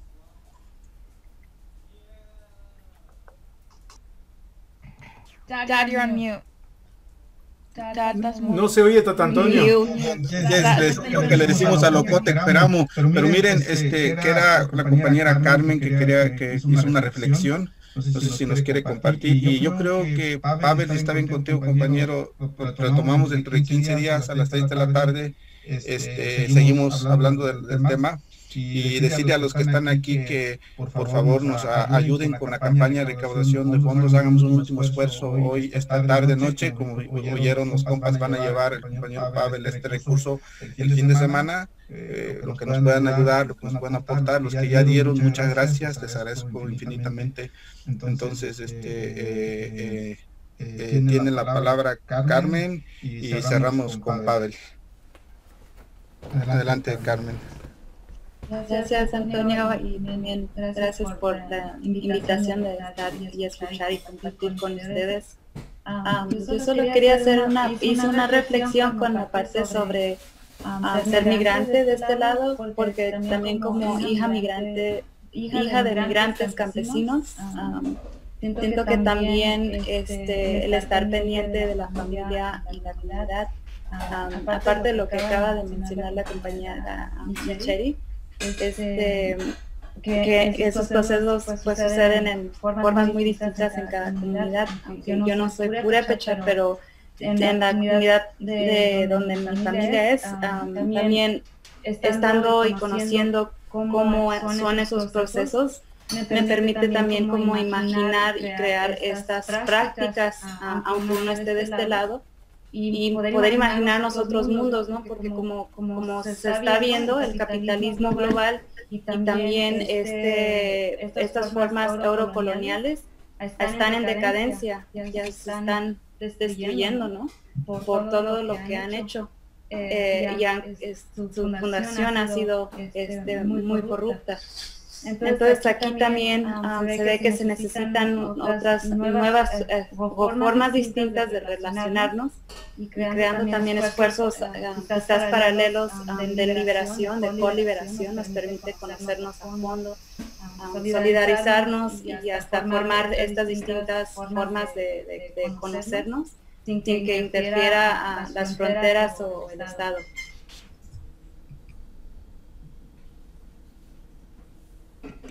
Gracias, compañera. Adelante, compañero Pavel, cierra usted. Pues, eh, para, pues no me gustaría cerrar, me gustaría que cerraran alguien de ustedes, pero sí hacer un último comentario. Eh, dos cosas. Uno, primero, pues muchas gracias por su palabra, sus experiencias, su forma de pensar. Eh, en este eh, en este marco, pues lo que se puede observar en las últimas participaciones, y lo ven, es el aspecto de la cultura purépecha. Por eso insistimos mucho que todos los consejos de gobierno comunal actuales deben de darle una mayor importancia a la cuestión cultural, la cuestión de la vestimenta, la cuestión de la gastronomía, la cuestión del fuego nuevo, la cuestión de la cosmovisión, pero eso es solamente una parte de la cultura. La otra parte de la cultura es esta cultura de lucha y resistencia de más de 500 años. Es mentira que el pueblo purépecha entregó el poder sin combatir a los españoles.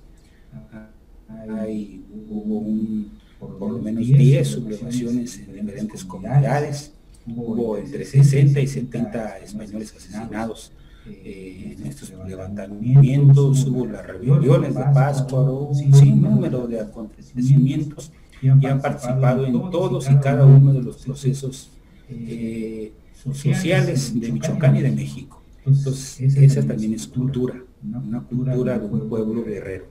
Eh, quisiera despedirme con ese comentario y también quisiera comentarles ya en otros términos que eh, pues, agradecerles mucho por esta campaña que se hizo de ayuda mutua, eh, que tengan la plena certeza de que estos fondos van a ser entregados íntegramente a las comunidades por medio de víveres. Uno, dos, que lo queremos hacer todo esto en una asamblea de autoridades, obviamente eh, siguiendo algunas medidas sanitarias, porque pues, pues siempre que nos juntamos nosotros mínimo somos unos 150 o 200, a lo mejor nada más unos 50, no sé, no sé ya, veremos este, eh, para tratar de eh, mitigar esto de la pandemia. queremos entregarles un reconocimiento a todos, insistimos mucho que ojalá pudieran darnos el Estado, porque queremos entregar un, reconocimiento firmado y sellado por las diferentes autoridades en día de agradecimiento. Y por último, pues que esto sea el inicio de trabajos colectivos entre ustedes y nosotros, lo que podamos ayudar acá con gusto, eh, lo hacemos o impulsamos. Y pues sería eh, lo que quisiera comentarles que eh, las veces que se requieren hacemos los talleres. Yo propondría que si continuáramos con un taller eh, en 15 días sobre algún tema que ustedes nos dijeran, mm, eh, enfocado por supuesto a la historia del pueblo purepa o a la cultura o a la autonomía y que nos permitieran proponerles a otros ponentes. Yo quiero proponerles por ejemplo, la cuestión de la mujer purépecha con la maestra de la cuestión de educación con mi compañero Mate, eh, hay un sinnúmero de compañeros de con una purépecha que pueden apoyar eh, cuestiones también, por supuesto, históricas, arqueológicas, sociales, psicológicas, incluso para que se pueda más nutritivo, que me dieran chance de la siguiente sesión proponerles ya uno o dos componentes de ellos y seguir así en esta dinámica y después, por supuesto, invitarlos al diplomado que está en construcción. En breve les hacemos eh, llegar el, programa para que nos pudieran acompañar, que por cierto este año va a ser este, el primer año que lo vamos a impulsar digitalmente. Entonces, pues con eso me despediría y pues quedo a sus... Bueno, pues Vamos, les invito a, cierren los ojos, por favor, un momento y este y traten de poner su mente en, blanco, Eh, imagínense que están en, en, la montaña, allá en, nuestro, en sus territorios, en nuestro territorio purépecha. Imagínense que están caminando ahí, este, por donde ustedes crecieron de niños en las calles. Vamos a regresar un ratito. Eh, los que están allá regresen a la montaña, huelan el olor de, la, de los pinos, escuchen el, el trinar de los pajaritos, escuchen el, hasta el tocariscos del pueblo que a veces suenan para anunciarnos que están vendiendo algo. Pero más que nada huelan la naturaleza, sienten la energía de la madre naturaleza. Y con eso vamos a cerrar diciendo esto, ¿no?